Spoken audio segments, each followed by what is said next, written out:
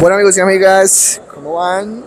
Espero que muy bien, seguimos en el cubrimiento de la feria de las dos ruedas. En este caso vamos a hablar de la HAM o la HAM 160R, cuatro válvulas. Visualmente lo que vemos en ella que atrae mucho es el tema de los carenajes. Vemos un tanque más robusto, eso lo dieron en su presentación, un poco más amplio, que inspira más agresividad unas entradas aquí de aire que espero que sean funcionales. Eh, su, farola, vemos que trae aquí estos carenajes, como esos dándole esos aires naked todos deportivos. Eh, suspensiones en la parte delantera, firmadas por Callaba o KIB. Tenemos ABS en la parte delantera y en la parte de atrás no tenemos ABS. Pero sí mordaza firmada por Nissin la delantera me imagino que es igual, no sé por qué algunas marcas que no colocan la firma de, a quién le compran sus mordazas. Vemos que viene con refrigeración por aceite, ahí ustedes pueden apreciar. Defensas firmadas por FP. Lo que es el tema del exhausto, vemos que la curva va por debajo, sale acá con el catalizador, lo que va a hacer que no, no haya pues como calentamiento para el piloto o para el copiloto, porque igual los posapiés son un poco pues como retraídos.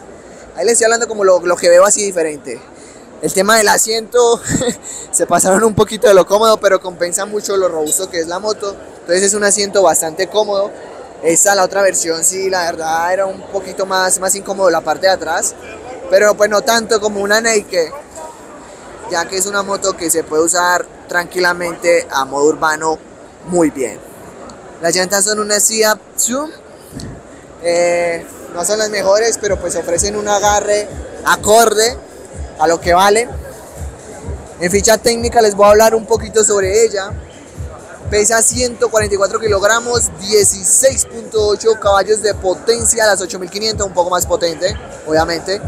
14,6 Nm de torque a las 6500 revoluciones, un motor de 163 .4.24 perdón, centímetros cúbicos. La relación de compresión es de 9.8 a 1, es como características importantes. Tiene una caja mecánica de 5 velocidades y 3 galones que son equivalentes a 12 litros. Ahí pueden ver ustedes un poco. Es una moto que es por inyección electrónica. No tiene encendido a patada. Ahí ustedes pueden ver pues como un poco de la motocicleta. Les voy a poner un poco por acá. Ahí ven cómo se vería usted encima de ella. El tema de sus mandos. Mandos premium, ¿para qué? Esto, estacionarias. Les voy a prender para que ustedes vean la farola. Ahí pueden ver la farola. Obviamente la farola ha mejorado mucho a medida que ha pasado el tiempo trae muchas cositas, le voy a colocar las estacionarias para que ustedes las puedan aquí apreciar. Y nada, aquí pueden ver el tema de su stop. No, no, no, pero es un tema, vamos a ver si es... No. Está muy, muy bacana la motocicleta. No dice qué precio tenga algo así por el estilo, pero sí dice que va a estar disponible en este, es como un negro neón, como lo mencionan ellos. No sé qué otras. Vayan a Búfalo es, Saludito. Saludito también al parcero. Entonces no dice pues como qué otros colores van a llegar, pero de momento va a estar disponible en este color. Por si usted tiene algún interés en ella, eh, puede averiguar con algún asesor o asesora. Y nada, ahí está.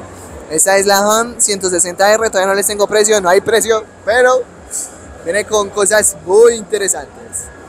Ahí los dejo, HAM 160R en la Feria de las Dos Ruedas.